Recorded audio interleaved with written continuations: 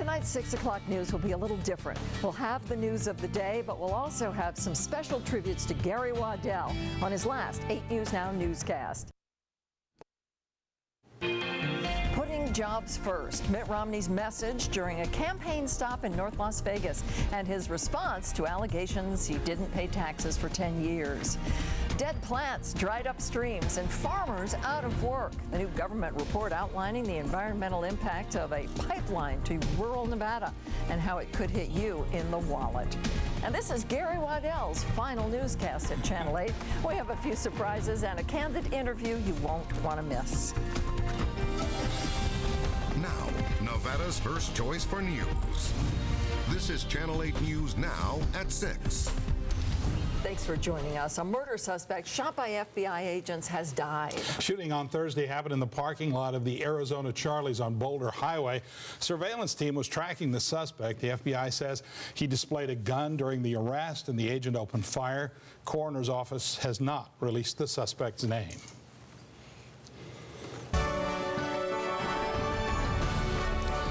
Mitt Romney, the presumptive Republican nominee, slammed President Obama in an appearance in North Las Vegas today. Romney spoke to supporters at Sierra Truck Body and Equipment, saying Obama's economic policies have made the economic crisis worse. Romney told the audience that Obama doesn't understand how the private sector works. Today, Staples employs roughly 90,000 people.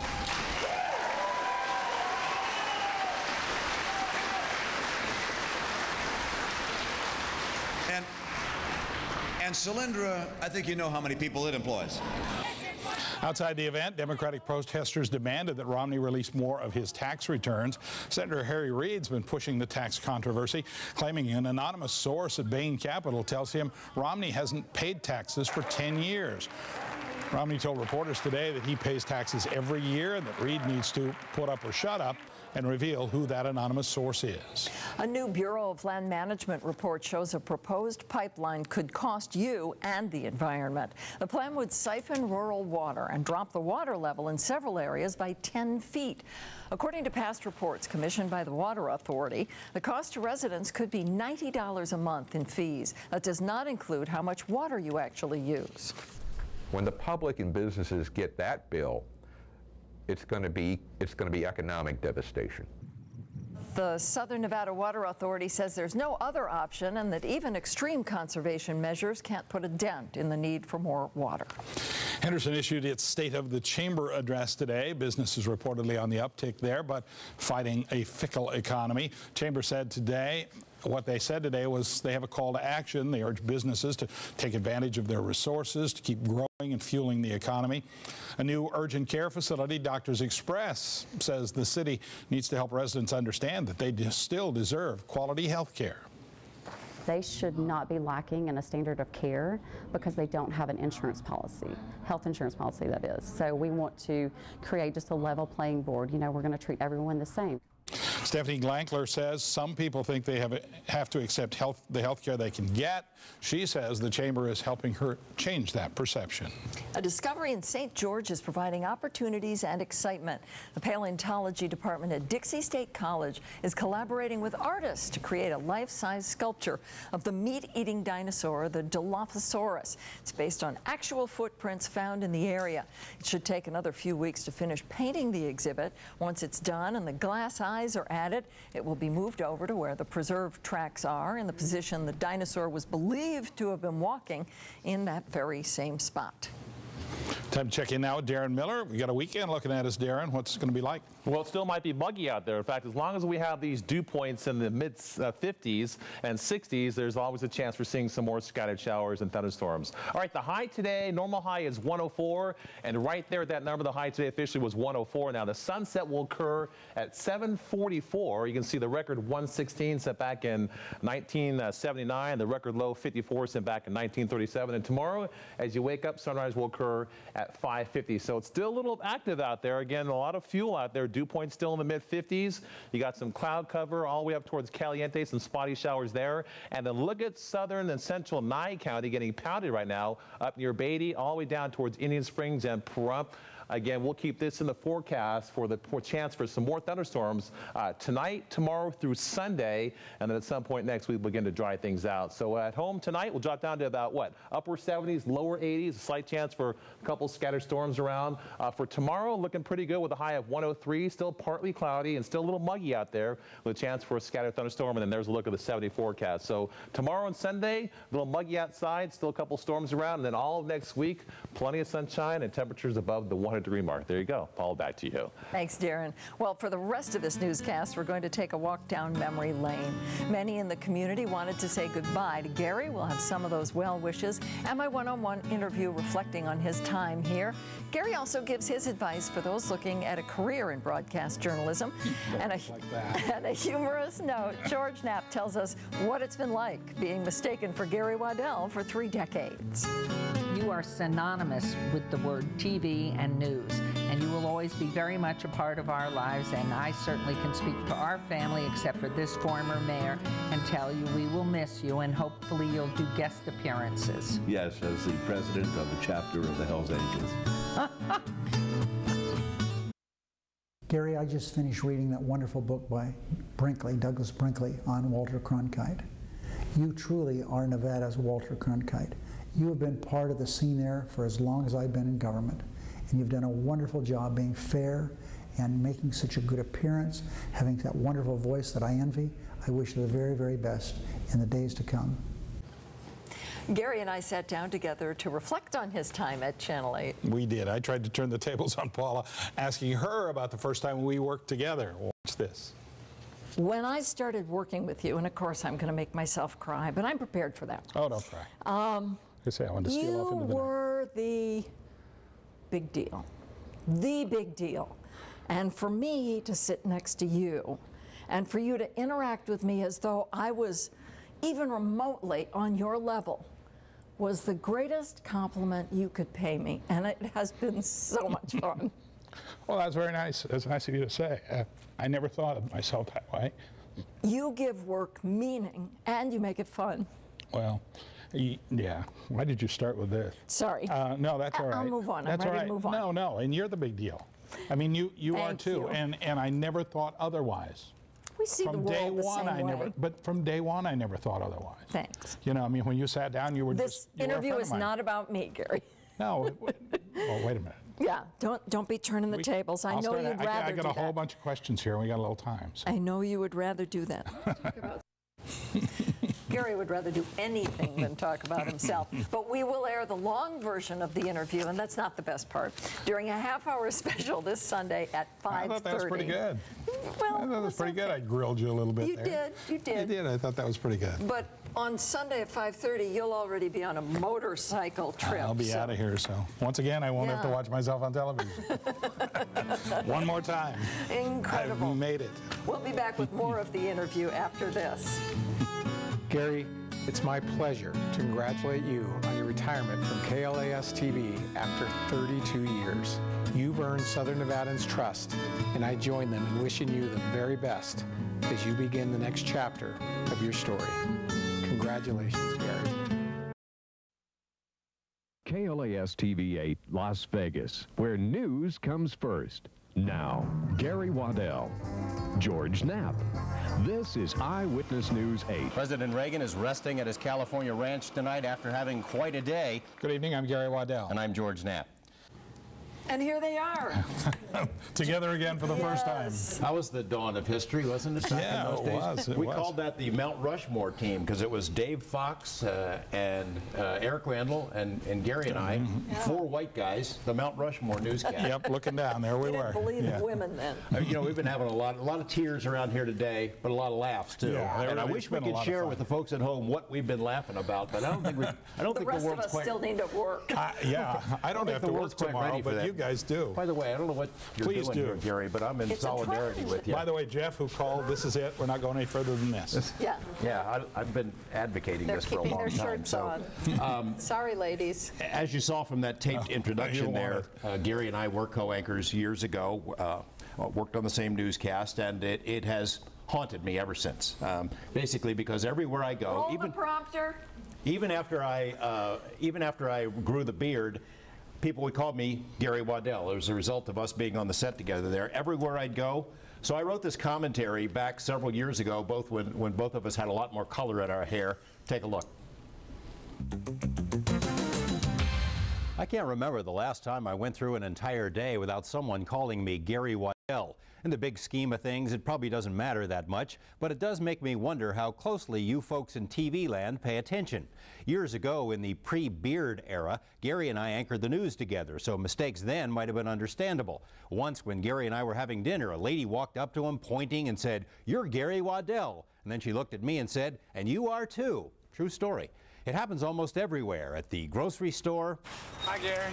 in the Taco Bell drive through line where I dine five times a week, Here's your change, Gary Waddell.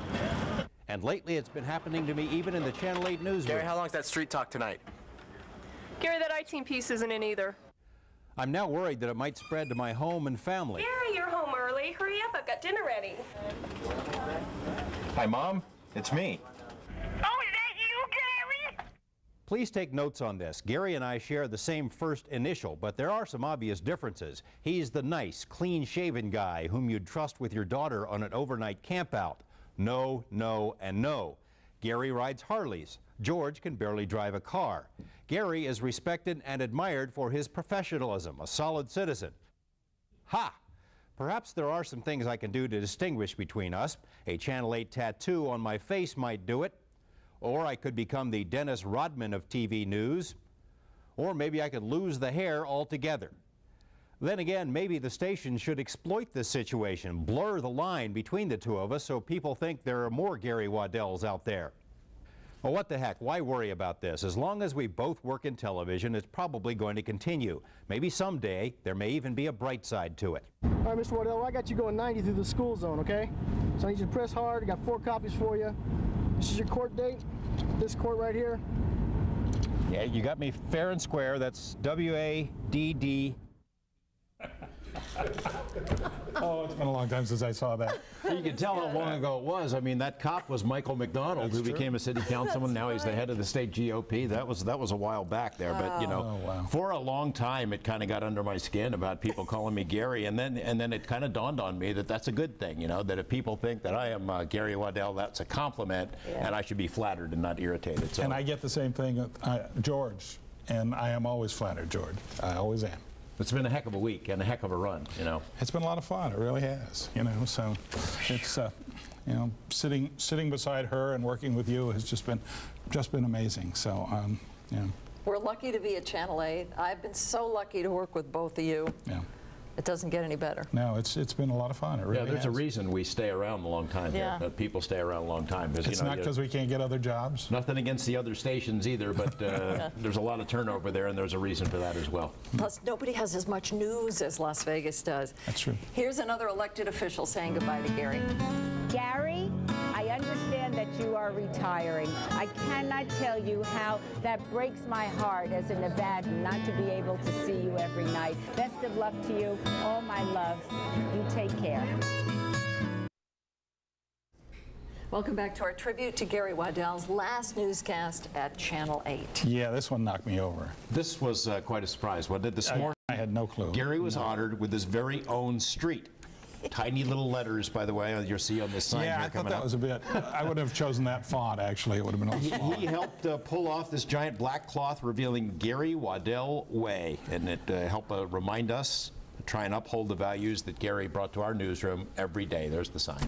That's, pretty cool. That's That Very is nice. cool, yeah. Yeah, I won't see that every day when I don't drive in here anymore. You know. We'll, we'll see that. Total surprise, though, right? You didn't know it was coming. No, I didn't know much of this was coming. I don't they managed to keep me in the dark over most of it. I just was like under that black cloth for a week. Well, we've got one more uh, clip from this interview. This is, uh, I asked Gary what he'll miss the most. Let's take a look at it. What will you miss about coming to work, if anything? Being in the middle of what's going on. You know, I changed when you and I stopped anchoring together all the time was when they when I moved to days Yeah. and doing the noon and the and the four and the six for a while. Um, and I thought I would hate it because I did like the night shift. I really enjoyed it, and and I was on it for 20 some years. But uh, you know, the one thing I've liked about being on the day shift is that that's when things are happening. Yes. And that's when I can come out here and and say, you know, here's what's going on, folks, and, and we've got this breaking news, and that's what's that's what's happening, and, and that's been, you know, that's been really fun to do, and it's and I feel like we make a difference to people when we do that. You know, I I get it as often as anything else that uh, when bad things are happening, you and Paula make me feel like it's going to be okay. I will I think that. that's the most important thing we do. I'll miss that. I will. Well, if you can Yes, I stand, will. if you can stand any more of this, come back. We'll be right back. First, uh, Lawrence Weekly says goodbye. Uh, Gary, God bless you, man, and good luck in all of your future endeavors. And hopefully, you won't go anywhere. You'll stay around Southern Nevada and stay involved and continue to be as genuine now as you've always been. Happy retirement, buddy. Love you, man. Okay. A lot Welcome of blubbering back. Yeah, a lot, a lot of giggling, a lot of crying. We are uh, in our last segment with Gary's last newscast at 8 News Now. So here we are. I'm surrounded now by my first co-anchor, Gail Westrup. She came in specially from Sacramento for this. It's been a pleasure. I was Oh, thrilled to have you. I, I was so Really I was just blown away when you walked in at noon. I had no clue at all. It is It's so been nice to see you, and it was so much fun. I'm so glad you're doing well, and all is good with you. Well, and just We just thank congratulations you to you. I, I Uh, told you at noon when oh, you, you did a great job holding down the fort and, here. yeah, well, we've tried to keep the lights on since you left. You know, Paula's helped, George has helped us, so we've Oh, we've done all right that way. That's so great. thank you so much for coming down. We wish you the best. There are a lot of people out there still remember you. I, they ask me about They you still call me a lot. Gail once in a while. Yeah, that's right. Absolutely. I that Yeah, call, call me maybe. All right. Oh, good job. Ian, can you repeat what you just said to me? Package. Let's just Oh, keep okay, talking. so we can Good, keep talking. good. Okay. So you're great. completely out of television.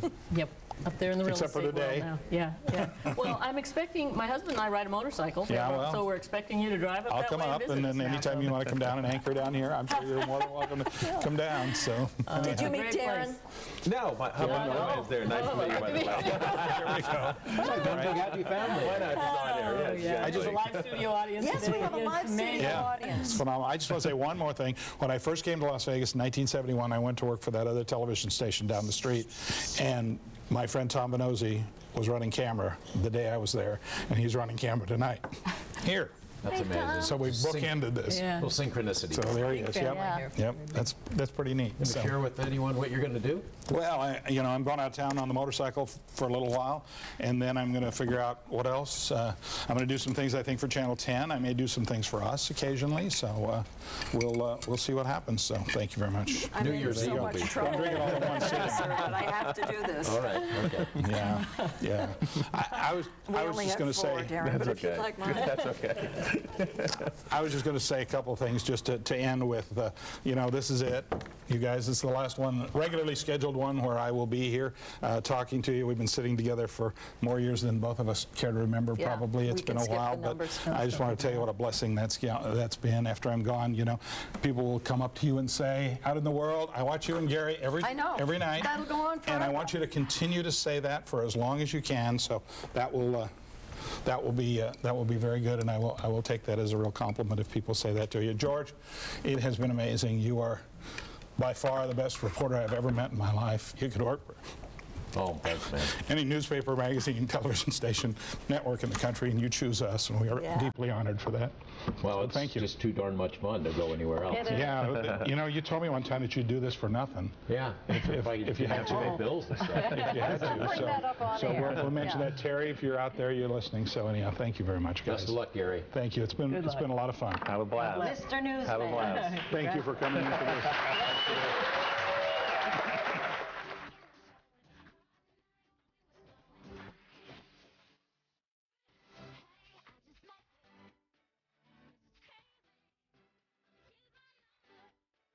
Call me Gary.